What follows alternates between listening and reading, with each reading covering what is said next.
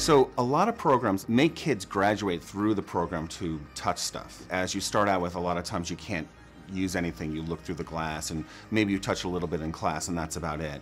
In our first semester and on, we have studio time for our students. You need to learn how to use this stuff and we don't have equipment that's outdated and you're never going to see again. It's current equipment that if you decide to work professionally in the industry, this is the stuff you're going to be coming in contact with.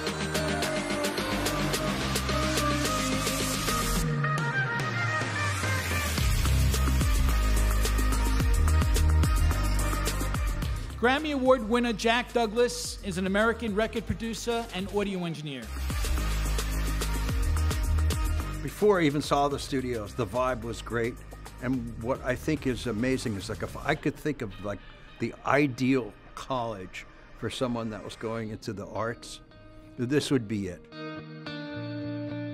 We are in charge of all the productions that are happening here. So any live sound action that's happening here, whether it be the theater or outside the theater, we're involved in it. The one outside of college that we started last summer at the Great South Bay Music Festival, where we're actually bringing students to run audio there. There's national acts there, so we have our kids working with national acts as they're coming through that location.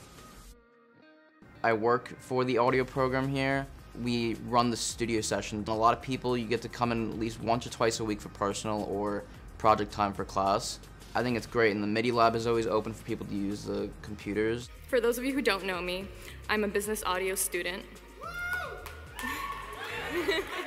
I knew two of the professors here before starting, Professor Lee and Professor Machado, back when I was in high school. So I did two summer programs. I met them through that, and that's how I found out about the school. Because I enjoyed those courses, I ended up coming here. It's experience with equipment that's, you've heard these consoles on thousands and thousands of records uh, through most of people's lifetime, through audio history, basically.